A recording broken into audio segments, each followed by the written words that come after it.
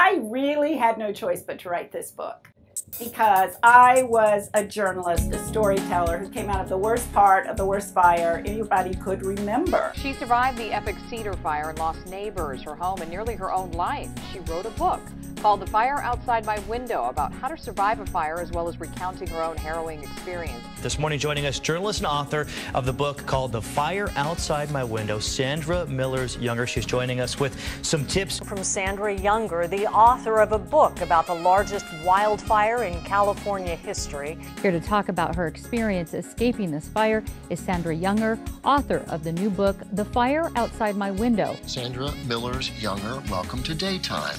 Sandra Millers Younger joins us, and thank you so much for being here. What is the biggest mistake that people make in terms of preparing for a disaster? Biggest mistake is ignoring red flags. You see this? If I had looked at the newspaper the morning the Cedar fire hit, mm-hmm. I would have known that fire danger that day was critical. Okay, the next one you say is neglecting critical preparations. That's right. Do you have your precious items together in one place so you don't have to go running crazy all over the house like I did. The third big mistake is waiting too long to leave. What is the formula to survive a natural disaster? I call it the live formula to okay. survive a natural disaster. Okay. L means listen to your gut. Mm-hmm. If you feel like you're in danger, you probably are. are and should act accordingly. I is to inform yourself, watch the news, the weather, get a scanner app for your iPhone to see what's happening in the field in real time.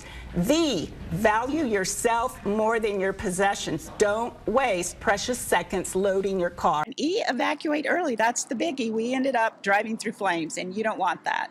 I wrote the book as a tribute to the people we lost, as an official documentation of this historic event.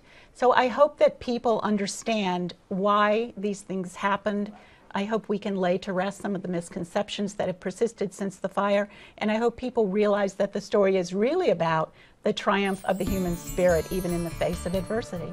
The book is available online and in all the local Barnes and Noble stores. And if people um, go see my website, fireoutsidemywindow.com, they can order the book and download a copy of all my tips for wildfire preparedness. Sandra Younger says she hopes by spreading her story about the Cedar Fire, other people can be safe when disaster strikes.